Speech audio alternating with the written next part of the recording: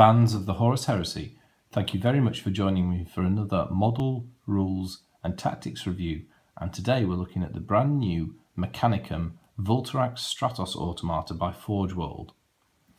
So here we have the first flying monstrous creature to feature uh, in the Horus Heresy and I have to admit what a fascinating model this is.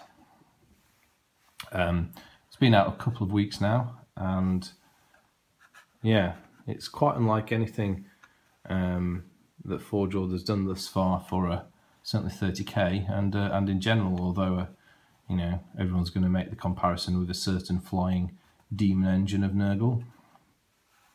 So what I'm, what I'm going to do for this view, review is um, we'll I'll take you through the the build of the uh, Vultarax itself, uh, some hints and tips around assembly and what the kit quality was like, uh, and then we'll discuss the actual rules in the game based on the experimental rules that are currently available on Forge World's website. Okay, so let's start off with the build. Um, so it's on a um, it's on this flight stand. Um, the flight stand, um, obviously, there's no there's no sort of recess or attachment point for this, so it just sits on it. So I've attached this using a two-part epoxy glue, um, some quick setting araldite because um, I don't want that to come off uh, at any stage in the future. So uh, yeah, safe rather than sorry there. So let's just uh, pop this guy for base. See if we can achieve this. There you go. It's a good start. And get a closer look. And yeah, I, I, have to admit this is this is a fun model to build.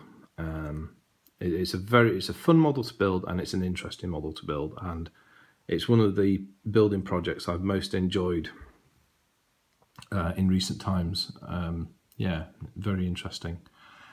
Uh, kit quality on this um, was pretty good. Um, I, if you saw my unboxing review, you'll remember that there was some mold slippage on the body unit and also on the arc blaster.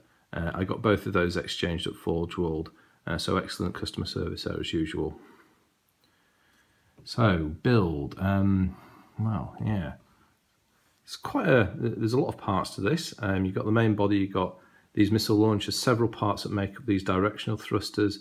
You've got the whole sensor and weapon arrange array. You've got the mechadendrites, um, and then you've got these directional uh, attitudinal thrusters located on the rear of the uh, Vultarax as well. And if we, just to sort of get a bit of an inside look, this is, uh, I'm not glued on the front cowl yet. There you can see all the detail inside it. I've, um, I'm going to leave it unattached until this is painted. Because as you can see, there's an enormous amount of detail in there. Right, let's pop it back on. Right, so assembly, a couple of things. So let's uh, talk about the actual preparation for the build. Um, you can see on the underside of the Vultarax there is an antenna array with six small downward facing antenna and that's I, I love the style of that. Um, if you look on modern um, some modern military jets, uh, helicopters and, and, vehicles, you do see these sorts of arrays. Uh, so I, I, do like the style of that. Um, now, when the model comes, there is there are a series of uh, resin shims that sit between uh, these antennae. So you need a nice sharp knife and some careful knife knife skills um, to remove those.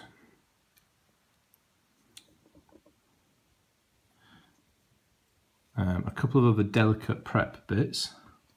So looking at the um,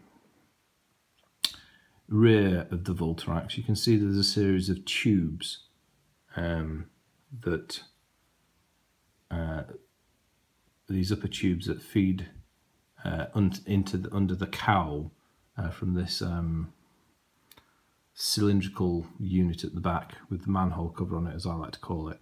Um, there are a series of shims on those as well, um, and that took some fine knife work to remove all those. Uh, but it took a bit of time, but I'm glad I did it because um, the detail looks great uh, with those um, tubes properly exposed. Right, pinning. I did quite a lot of pinning on this model because it is quite delicate. Um, and I've uh, particularly used a technique of sort of, of opposing pinning because a lot of the joints here are pivots. Um, so if you do just lateral pins that follow the line of the rotational the rotation of the pin, um, uh, they're not necessarily that strong because they can still be rotated. So um, I'm going to post a vid. I've posted a video, um, a, a, little how-to about how to do an oblique pin, and I've used oblique to in terms of pinning.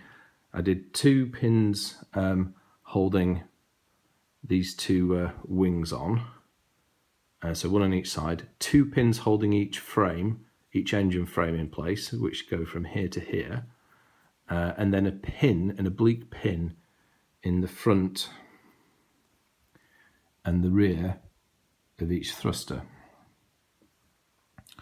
Uh, and those those should prevent this ever coming apart or any of these parts being able to um, rotate um, oblique pins in these Havoc launches as well to, because those again are on pivots that could break. Um, one large pin that runs through the sensor array uh, and, and, up into the cowling there to, to hold that in place because there's um, a fair amount of uh, weight around that and it's the sort of thing if it got knocked it could break. So let's have a look at, let's just have a, a little look at some more of the details. I mean, yeah, as I say, this is it's a beautifully detailed model.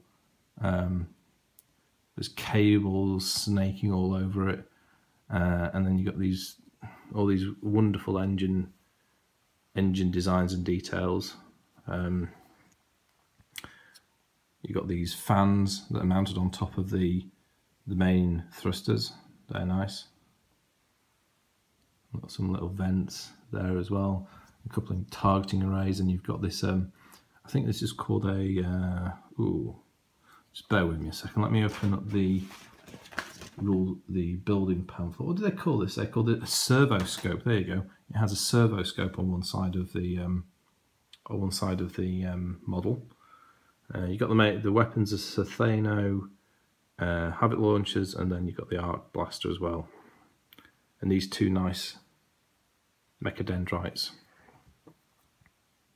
So yeah, let's pop it back on there back on its base.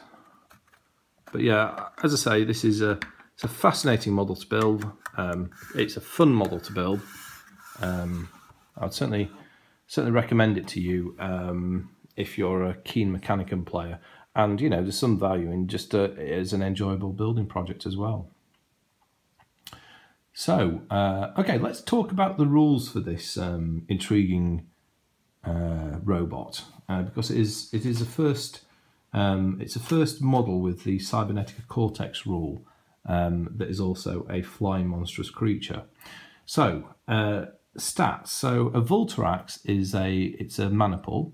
Uh, the base cost is 175 points uh, for a single Vultarax, um, and it has a profile that is uh, the same as a Castellax, with one exception, which is its strength is only four, where a Castellax is six. Uh, apart from that, the base stats are identical to a Castellax. So if you're thinking about the toughness of this, think a Castellax flying. Uh, has the same armor save of 3 plus as well. Uh, you can add up to two additional Vultarax to give a full strength maniple of 3 automata. Um, right.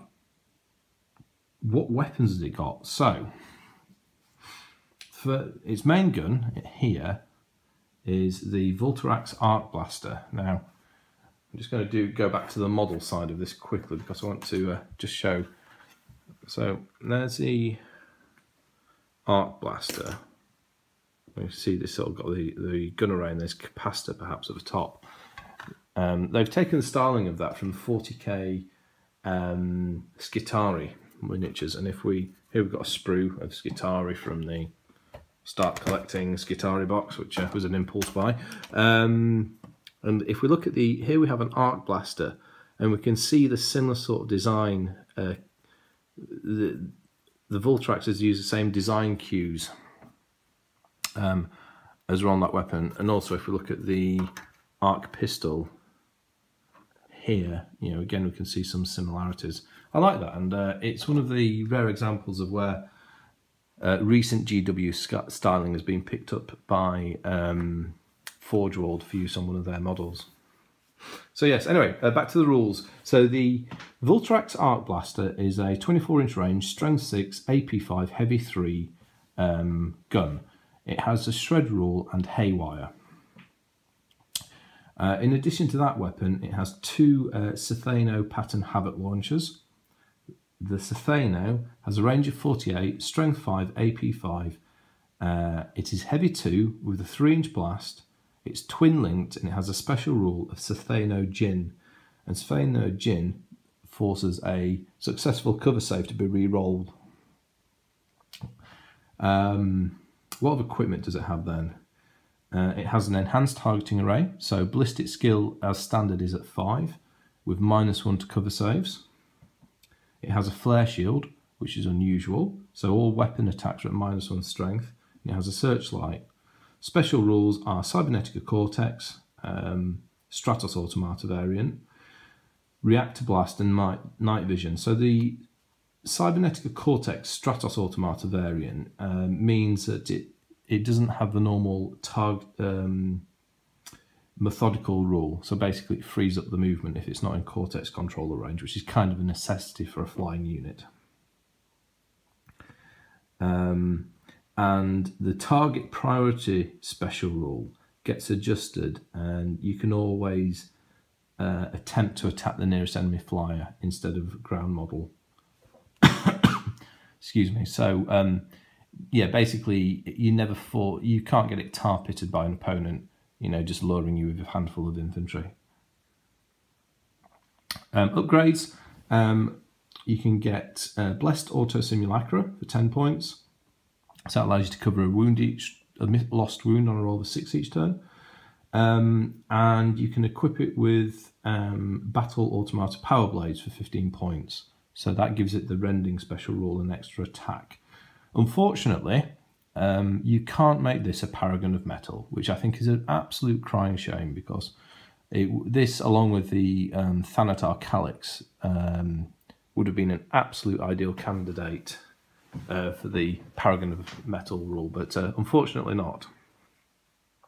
So it's a fast attack choice um, in the Mechanicum Tagmata army list. Um, so, how do you use this intriguing vehicle, or robot, should I say? Um, because clearly it, it, it lacks a knockout, excuse me, it lacks a knockout high strength punch weapon. Um, but I suppose you need to, I guess, look a little bit beneath the surface in how to use it. I think you can play it in two ways. You can use it uh, you can use it to attack vehicles taking advantage of the haywire effect of the arc blaster gun. Um, and you can equally well use that against flyers, so enemy fighters, um, and ground targets as well. And with a heavy 3 weapon um, and ballistic skill 5, it's not an unrealistic chance to be able to knock a dreadnought out in a single, ta- single attack uh, or bring down an enemy fighter. And certain enemy fighters, which only have two hull points, are actually quite vulnerable to that. And you also have a nice synergy um, with the enhanced targeting array, reducing jink saves by one point as well. Um, so yeah, you can go after vehicles, but you're only using one weapon there. I suppose you could take, you could use the, um, you could attack, attempt to attack enemy flies in close combat as well. Um, you can attack enemy ground units, so infantry units, using basically a volume of fire approach. The Havoc launchers, you're going to, you know, you, you could potentially land 20 wounds um, onto a unit with those, given the number of blasts twin linking that you've got. Um, the I suppose you're not going to you're not going to kill masses of space marines and terminators and the like. Um, but you know, it's decent firepower. Um, even Solar Auxilia are pretty resilient to it because you haven't got any high AP. If you're fighting the militia list, though, this will be absolute death to militia. You will kill loads and loads um, of guys wearing standard flak armour. And the re-roll on a successful cover save there uh, is going to really hurt them as well. Um, you, it could be moderate. It will be moderately effective against enemy battle robots as well. Um, the shred, excuse me, the shred rule on the Arc blaster coupled with haywire um, means you can do a decent number of wounds to robots. So if you're fighting some of the lighter robots um, like the Vorax, uh, that could um, that could be a nice thing to target as well. Um, but I think I think for me the main the main use at the moment seems to be uh, just the sheer speed of the thing and making use of the arc blaster to um, rain on your opponent's vehicle's day. Um, or harass the heck out of enemy infantry. And if you went into gliding mode with this thing, um, it's it's tough enough. Um, it's tough enough that it's not going to be easily killed, um, particularly when you consider it has a flare shield, um, which is reducing weapons strength by one. Good. So, yeah, uh, I think that's just about everything I'm going to say about this. Um, I'm going to do a, another video on the Vultarax, and I'm going to do a video about counters to the Vultarax because um, I can see um, the introduction of these things being a bit of a, a nasty shock to players of the Legions and the Solar Auxilia. Um, so I'm going to do a video thinking about the tactics of how to um, mount an effective air defense against these guys, uh, having thought about how to use them to uh, wipe your wipe your opponent out. Anyway, so I hope you found that interesting. Um, interesting review of this absolutely fascinating and lovely model. Um, I definitely, I, I, would definitely recommend it. Uh, I've really enjoyed building it. It's been a real fun build, uh, and the end model is uh, is brilliant. Really like it. Thanks very much for listening. Uh, I'll speak to you later, and goodbye.